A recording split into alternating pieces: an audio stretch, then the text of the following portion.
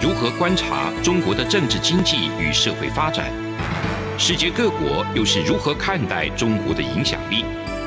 而两岸间有哪些焦点议题与新闻事件？深入解析，多面向的透视中国。欢迎收听《这样看中国》。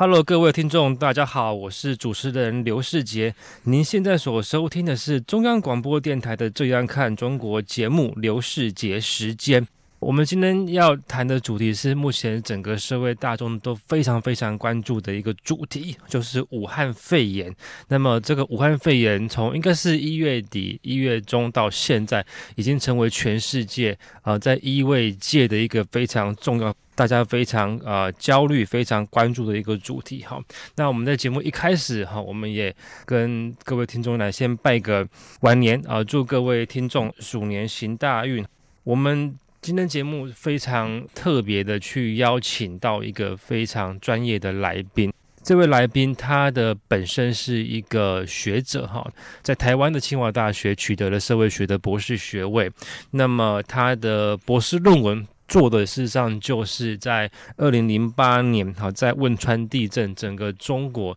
在做大型救灾的一个资源动员的这样的一个主题，哈。更特别的是，他人目前是在中国教书的。是好，我们请来的这位学者，他叫做李宗义博士。嗨，宗义你好。哎，主持人好，呃，各位听众大家好。那也跟大家拜个晚年啊，祝大家鼠年平平安安。中医实际上是我的学长了哈，那也是我们清华大学社会所非常优秀的学长哈。那么我们今天很巧，我们今天整个。这样看中国哈，刘世杰时间这个节目的第一集，我们就刚好请到了综艺来上我们的节目哈。这个综艺人现在是他，你你应该是一月初回到台湾吧？呃，我今年比较早，因为我们今年过年早嘛，所以学期结束也比较早，所以我十二月底就回到台湾。哦，十二月底就回来，所以你整个是。非非常 safe 的，因为一月对对，因为一月的时候还有选举嘛，还有投票，所以整个整个行程有比较早一点。对，嗯，那你大概什么时候知道在武汉有肺炎这样的一个事情？我是一直回到台湾才看到这个新闻啊。那可能我在中国大陆的时候没有非常特别去看这个，嗯，就是他们国内的一个新闻，嗯，所以呢，那时候并没有知道说武汉有这个肺炎。那在回来的两天，我印象很深刻嘛，应该就是跨年的前，呃，就是十二月三十一号，台湾才有新闻陆续爆出来，是，嗯，对，所以那个时候才知道说，那也在那个时间也传了讯息给我在大陆的一个同事啊，然后关心一下那时候的情况，嗯，那那时候因为新闻刚出来，嗯，啊，就是大陆那边大家还没有觉得情况这么严重。对，那没想到现在是越演越烈啊，所以大家其实都很关心这个事情。是，那我也每天在微信上面，嗯，呃，刷朋友圈啊，然后跟那边的同事啊，嗯，关心一下，慰问他们，了解一下现在整个的一个情况。因为，呃，现在有一些班机是没办法回去嘛，所以我自己，我们学校也是延后开学，所以我也暂时没办法回去那边上班。是是。这个我觉得，那么在十二月底那时候，台湾开始有这个武汉肺炎的新闻出来之后，在中国这个新闻是有被封锁吗？还是是看得到的？嗯，因为我那时候人不在那边，所以我看的大部大部分是台湾的一个新闻。你用微信跟你在中对对，但是从开始新闻出来之后，我觉得在一月二十之前，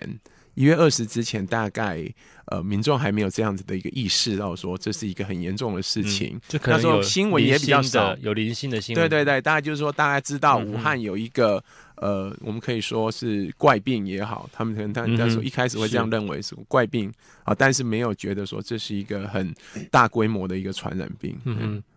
我们今天是二月四号哈，那么目前在武汉肺炎最新的发展是，我们第一架从武汉撤侨哈，从从武汉回来的班机，在昨天深夜十二点已经抵达台湾了。那大概我记得有一百多人吧，两百两百两百多人左右嘛，好，已经到了台湾，那也目前在进行非常专业的隔离的一个处置哈。但是我们回过头来去看看目前在中国的状况，目前他们的封城的现象好像有。扩散的现象啊，包括最刚开始的时候是武汉嘛，后来变成是温州。那么今天早上的时候，好像听说连杭州也封城了。那其实这几个城市都是非常多台商台生在聚集、在工作、求学的地方哈。那我们请教中医哈，你看目前在中国封城的状况，它会有越来越多的城市会会封城？我觉得肯定的，因为因为我们这个。不论是城市也好，嗯，或者是国界也好，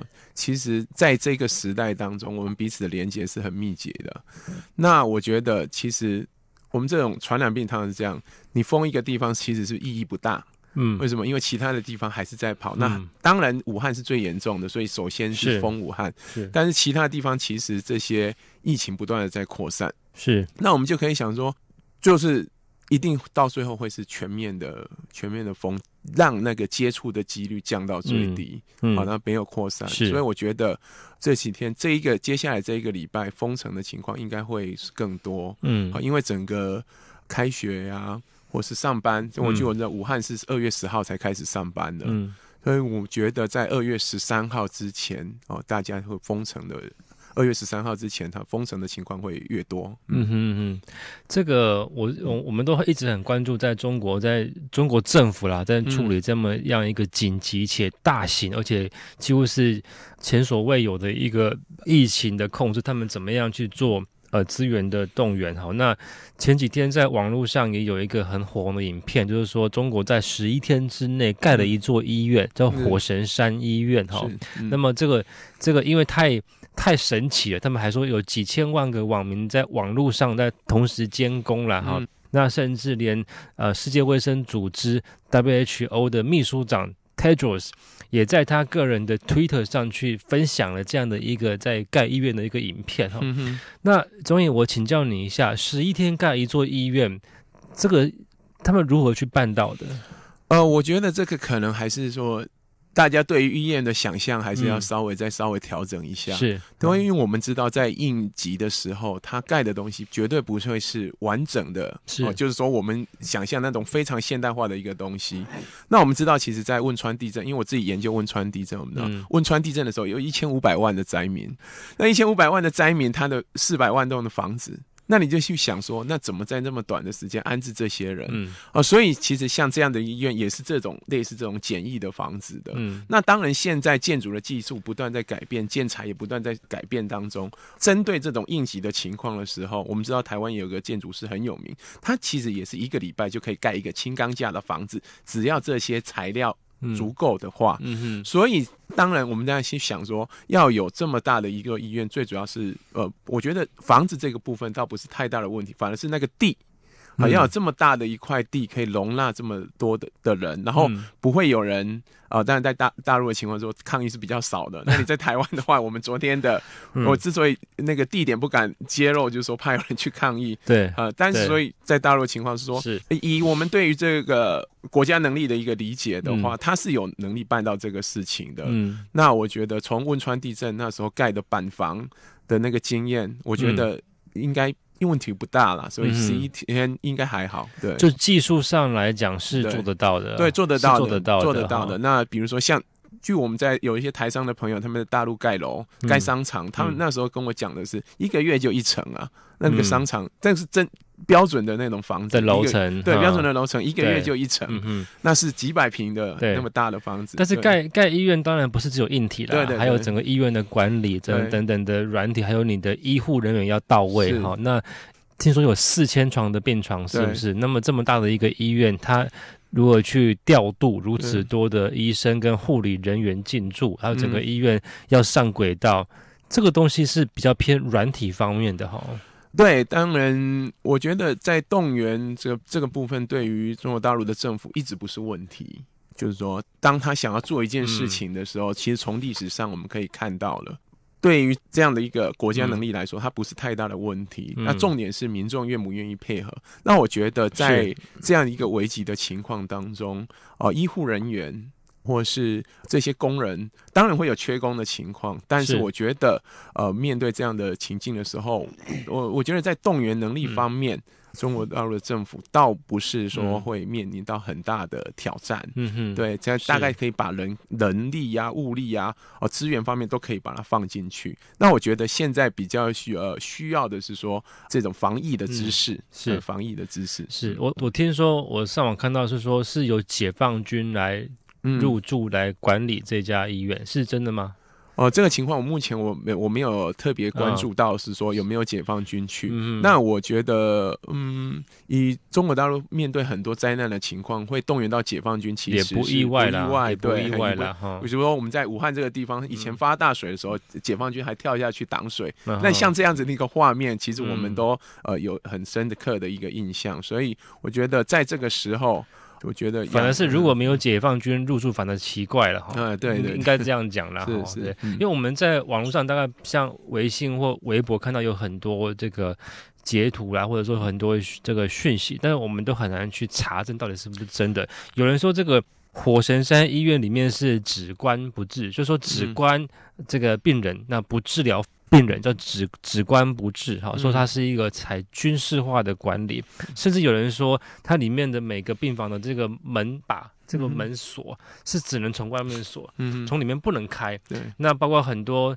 人在微博上说，他们这个被掉进去在里面所谓的治疗，但是却没有任何的点滴，没有任何的药的一个治疗，好，那甚至。有出现这个医院的护理人员，甚至是采取一个非常消极的方式，让这个一群在发烧的病人在里面所谓等死的这样一个状况。但是我们当然都很难去证实这些微博上的这些所谓这些截图跟对话。到底是不是真的？对，世杰，你刚刚提出来的问题，我们觉得，我我是觉得可以这样子来看，就是说，其实，在灾难发生的时候，虽然这是一个不是那种天灾，是它是一种疫情，那有不一样，就是说，当危急情况在发生的时候，我们必须要特别注意的是讯息的一个流通。好，所以呢。在这个时代当中，因为自媒体的关系，因为通讯软体的关系，我觉得讯息的流通肯定比二十年前将近二十年前的 SARS 那时候好很多。那好很多的云呃，所以很多人都可以在讯息上去发很多他听到的东西。但是在灾难发生的时候，其实。这种情况是常见的，是对，因为大家都处于一种不确定的状态，总觉得自己多掌握了一点讯息，就可以让这个不确定性，或是让这个风险降低一点点。所以我觉得这是不意外了哈。那但是但是这个东西我们怎么去求证它？通常呢，我们会是说，在这个情况的时候，虽然这些行为是自救行为。但是哈，我们还是会呼吁民众在发这些信息的时候，稍微再想一下，稍微再注意一下。另外一个就是说，您刚刚提到的这种后面这个问题哦，说只关不治，像这样的事情哦，我觉得这跟我们对于中国大陆他们的一个统治的逻辑，我们可以去去想一下，就是说他们通常呃，对于人民呃，就是他他们想要去。他们的治理的方式常是这样的，但是像这一件事情的话，因为现在目前还没有一个疫苗出来，嗯，也还没有快速的方式出来。那其实很多地方我们就是症状治疗，嗯，好，症状治疗。那我们也知道，台湾有一个情况是，他其实他没有治疗，他就痊愈了，就是我们的第十例，嗯，对他没有治疗，就他自己复原了。所以其实我们。其实刚疫情刚出来的时候，我们可以看到说这个事情其实跟流感啊，跟其实是一个很类似的，只不过说我们没有掌握到这个病毒。那我觉得在这一个当下的时候，当你没有药去处理的时候，很多时候真的就是只能症状治疗。嗯，好，那我倒不觉得说可以想象的是说那么的一个严重，因为。在现在这样子的一个讯息流窜的一个年代，我不觉得有这么呃，特别是这些人，嗯，都是所谓的老百姓，嗯，呃，我觉得对于这种人权的老百姓的人权这个部分，我觉得倒是，呃，我没有那么大的悲观，就是说他在治疗，除非他禁止他在里面的人都不能用手机，对对对，甚至那即使他不用手机，他的亲人肯定也会去关心他在那里的一个情况。那我觉得这如果有这样的行为，呃，这样的动作。你很难后面去去收尾了，去收回这个事情。对对对，好，我们节目到这边，我们我们先休息一下。您现在所收听的是中央广播电台的《这样看中国》节目，刘世杰时间，我们待会回来。央广每周一到周五晚间九点三十分到十点播出的《这样看中国》节目，由学者专家们多面向的解读中国，请锁定每周一到周五晚间九点三十分到十点播出的《这样看中国》节目。是阳光，翅膀打开了世界之窗；是阳光，翅膀环绕着地球飞翔。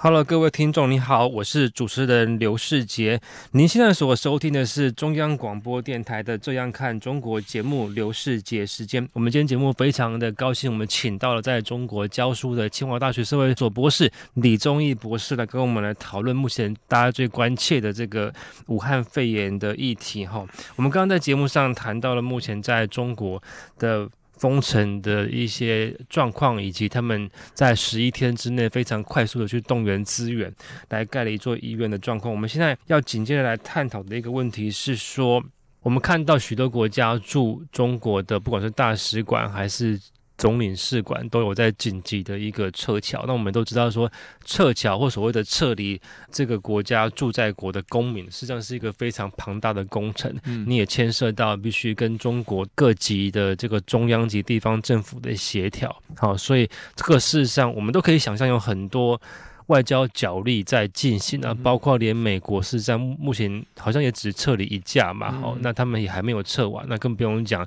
英国有架飞机到最后到到最后一刻还没取得要撤离的的许可，所以也没有撤成啊。那日本、韩国、泰国、澳洲等等，我们都有看到在撤离的状况哈。那所以想请教一下中医，就是说这些国家。紧急撤离的状况，是不是就代表这个他们各国政府对武汉肺炎疫情的这个控制是悲观的？谢谢。我觉得这个所谓外交的事情，世杰你是专家，我也不敢说太太。那我觉得在撤侨这件事情啊，我觉得还是比较从民间的是社会的一个角度去看这个事情。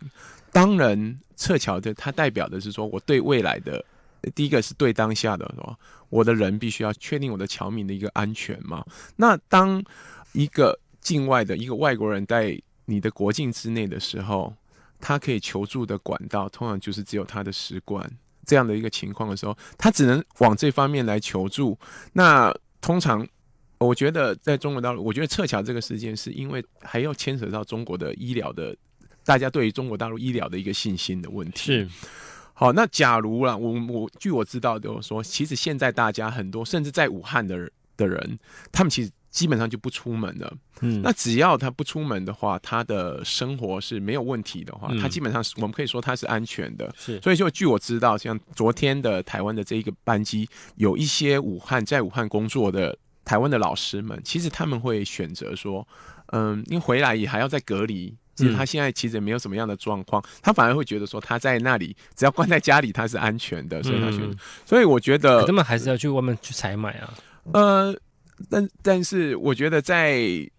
在蛮前期的，那那当然采买还有很多。在中国大陆的话，呃，政府当面也做了一些后勤的支援，是啊，大家担心的什么物价啊，或是买不到东西啊，这个在政府上面都有一些作为啦。就是说，实际的人的他们一个感受，同样我们。在外面的人看的会比他们着急，那他们在里头的话，当你会你去看看到民间呃这些民众他们自己的反应的时候，他觉得哎，好像至少了哈，就说我们不不说，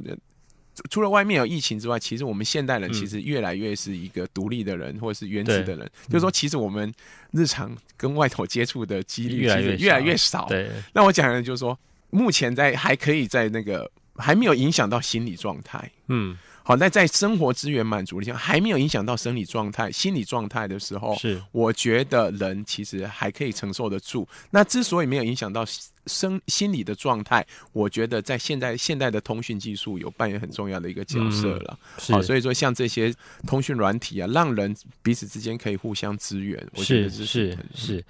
我想请钟伟来谈一下，就是说，我知道您的博士论文是有谈到中国有成立一个叫应急管理部，这样去面对一个大型灾难的的处置哈。你要要不要跟各位听众来分享一下，您个人怎么观察这样的一个在中国政府下面的一个中央部会，在这一次甚至在过去的灾难所扮演的角色？因为我们知道。中国政府它大概是一个，我们都可以，大家大家都会同意，它是一个从上往下的一个治理。嗯哼，好，从从上往下，top down 的，对 top down 的一个治理。那其实从从上往下的治理的话，它本身就有一个时效性的问题。我们看古代的帝国就知道了。嗯哼，好，我们以前在讲菲律宾的，就是说西班牙的国王他在菲律宾打了一场胜仗，或者说什么，他在哪里打了一场胜仗，他可能是。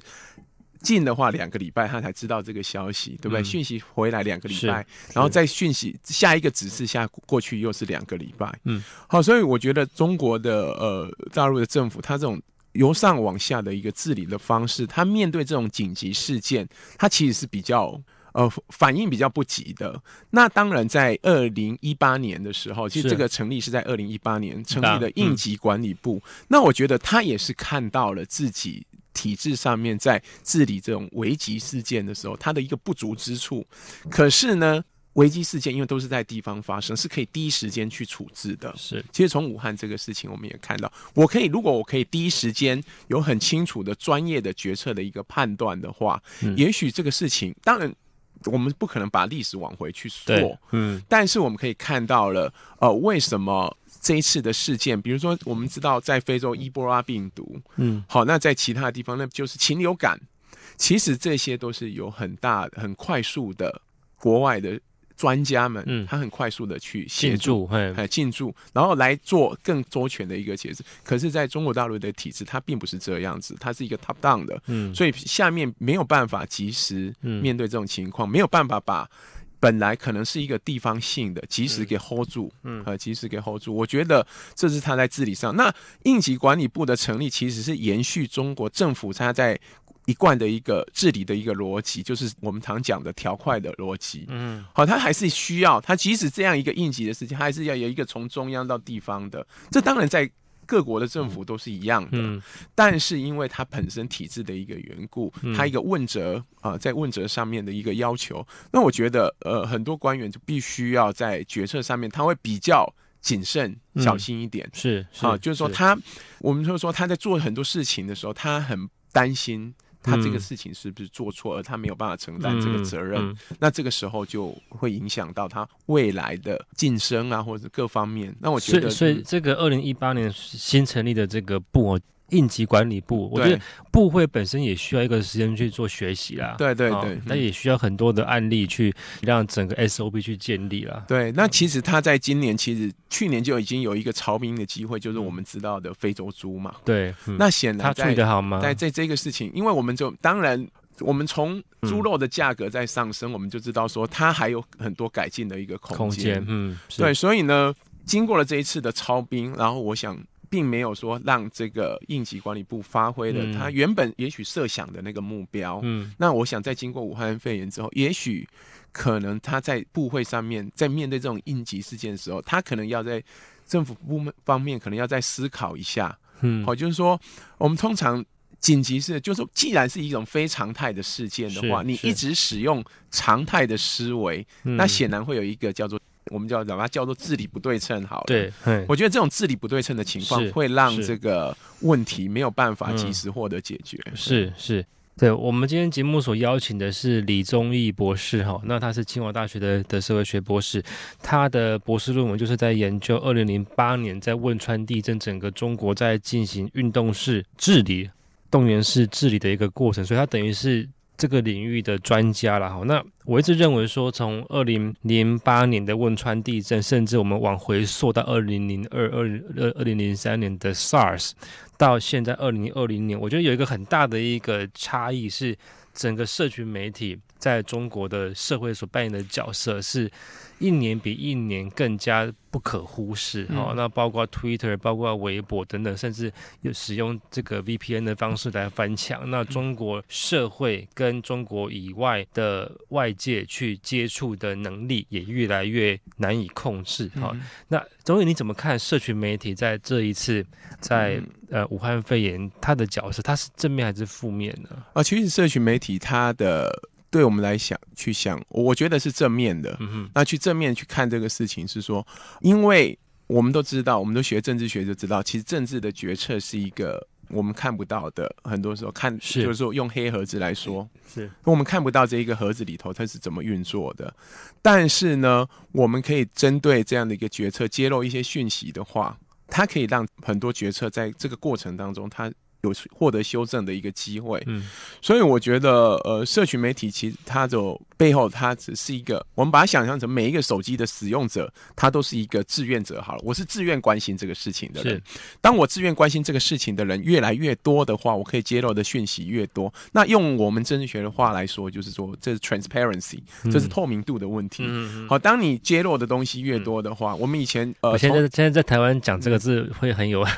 争议性，争议性是吧。好，就是说，其实从二零零四年，之后所谓社群媒体资讯这一件事情介入救灾，是从二零零四年的南亚海啸开始。是，其实，在二零一一年的海地，它就发挥了很大的作用。是，那才在零八年汶川地震的时候，微博，微博那时候还微信还没有那么的红，对，微博也发挥很大的作用。所以，我觉得从资讯的流通的一个角度，通常啦，我觉得在不确定的状态底下。是我们通经常会说有什么总比没有好，嗯，所以我们觉得有资讯总比没有资讯好。那这个时候其实它都是可以让这些不确定的人，嗯，他可以稍微去，但是也有可能是不实或错误的资讯。对，但是我们我们觉得在我们是比较就叫。呃，数位乐观主义者常常会说，嗯，就我们就让那些不实的资讯去自我被毁灭吧，就是说一定很快的。我觉得这在台湾的话会被更正，乡民正义嘛，乡民正义很快就可以把这些东西给修正过来。所以我觉得，呃，从社群媒体来看，我是比较正面的。嗯，当然，我觉得政府有时候不见得是这样子看。对，因为我觉得他也是，我觉得他等于是一刀两两刃呐。对对，就是说，像有很多新闻说，这个武汉当地的火葬场好像是什么类似二十四小时 nonstop 在运作等等，然后很多这个尸体，甚至很多明明应该是确诊，却因为当地的病床数目不够，却以致导致说。被忽略，刻意被诊断为不是武汉肺炎等等，那甚至导致很多很多人认为说，整个武汉肺炎在中国的数字哈，这些包括确诊人数以及死亡人数都应该要在 double 或甚至是更应该在很多哈，所以这个我想讯息的传递现在都非常快速了，所以的确是。我想，对中共的国家治理也是造成了一个很严峻的挑战。那中国外交部的发言人华春莹已经说，就是公开向外界说，呃，中国的医卫的这个医材，像口罩或等等，哈，是不够的。嗯，你觉得这是一个警讯吗？我觉得医疗部分啊，医疗部分，我想在中国大陆，它我们可以就是说，它的医疗的部分，当然跟台湾有很大的一个差距。最主要是他们的医疗这专业性，他们的医疗的专业性，他们的建立的是比较慢的，嗯，所以我觉得这是一个呃现代化的一个过程啊。那我觉得，当我们其实在讲中国大陆的硬体很多方面，它其实是超所谓的超英赶美，嗯的时候，其实我们还也可以另外一面去去思考到说。这些所谓的民生的硬体，嗯，好，就是说关乎民生的硬体的话，就是民众最在意的这些东西，它其实还有很多进步的一个空间。是，那我通常这就是一个国家现代化的一个过程。是，那我觉得他现在就是说他出来去讲这个事情，其实我们不意外。我觉得，比如说昨天的两百个，除了很多人为了团聚之外，他们其实也是对中呃对当地的医疗没有信心。是是，好，您现在所收听的是中央广播电台的《这样看》。中国今天节目探讨的主题是武汉肺炎的疫情控制。我们今天非常高兴，我们采访到的是呃，在中国教书的清华大学社会学博士李宗义博士。我是主持人刘世杰。节目尾声跟各位听众朋友来说明一下，如果您对本期节目有任何收听想法或心得想要跟我们来做分享的话，欢迎寄信到台北市的北安路五十五号，或者您也可以以电子邮件二零二零 at rti dot org dot tw 二零二零。at rti dot org dot tw，再次谢谢你们的收听，我们下次见，拜拜。